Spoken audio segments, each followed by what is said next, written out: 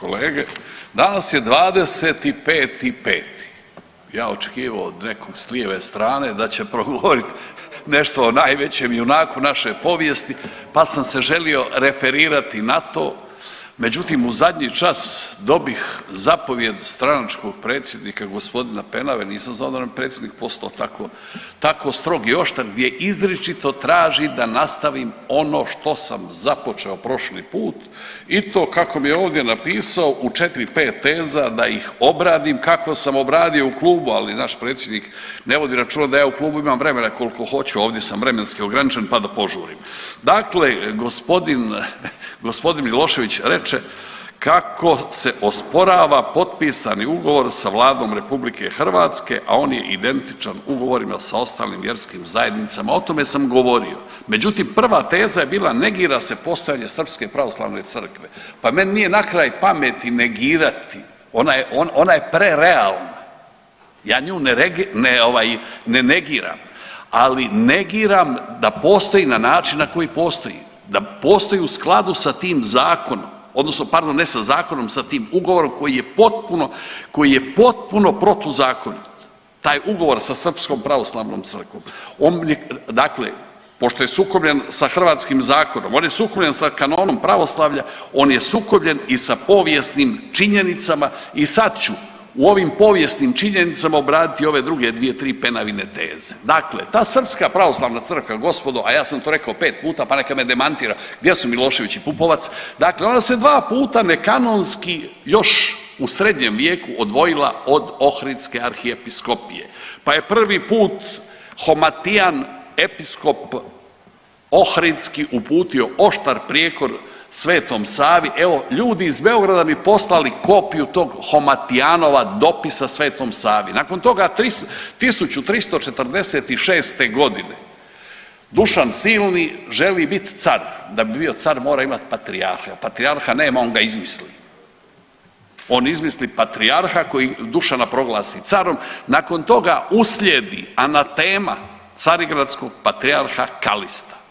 Nakon toga vrlo značajan događaj. 1530. godine četiri patrijarha, četiri pravoslavne patrijaršije, da ih ne nabrajam, nabrojio sam ih u Saboru prije godinu dana, šalju pismo Ohridskom episkop, arhijepiskopu i kažu da nikada nije postojala nigdje nikakva službena srpska pravoslavna crkva, da je sve laž i prevara. 1557. obnavlja se Pećka patrijaršija. Nikakva srpska Pećka patrijaršija, nego Pećka patrijaršija ugarskih zemalja, koja egzistira do 1766. kad se zbog nepodmirenih fiskalnih obaveza prema Turskom carstvu ukida njezinu dijecezu ili dijeceze uzima Carigradska patrijaršija i tako nastavlja put dalje sve do naših dana. Dakle, 1707. godine u Sremskim Karlovcima, nakon Bečkog rata koji bi mu uzeo puno posla, koji je čak završio protudarom svete alijanse kršćanske vojske gdje je austrougarski general Piccolomini završio i u, u Skoplju, a umro od kuge u Prilepu, čini mi se, i nakon tog se vojna raspada, pravoslavni koji su podržali tu akciju bježe i to ne samo Srbi, nego i Grci i Bugari i ovi i oni i 1707. osniva se patrijaršija u Sremskim Karlovcima, nikakva srpska patrijaršija, nego se episkop u Sremskim Karlovcima zove episkop obje strane Dunava, gornjih zemalja i hrvatski episkop. I ta episkopija traje sve do, do, do, do, do negdje do 17.6.1920. godine.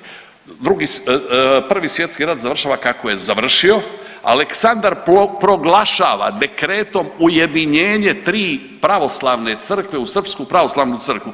Da je poštivao kanon pravoslavlja, on bi utemeljio pravoslavnu crkvu kraljevstva Srba, Hrvata i Slovenaca, ali on to ne čini, nego proglašava i utemeljuje pravoslav, Srpsku pravoslavnu crkvu kraljevstva Srba, Hrvata i Slovenaca u Carigradu vide da to nije u redu i zbog toga Tomos ne može dobiti neko, nego nakon, tek nakon dvije godine kad ga je platio sa milijun i po franaka. Paralelno s tim, osniva se odnosno nakon toga za Drugog svjetskog rata osniva se evo opet Hvala ja vrijeme. Kolega Prkačin, vrijeme je gotovo. Ne znam, ne znam jel će predsjednik Penava bit zadovoljan.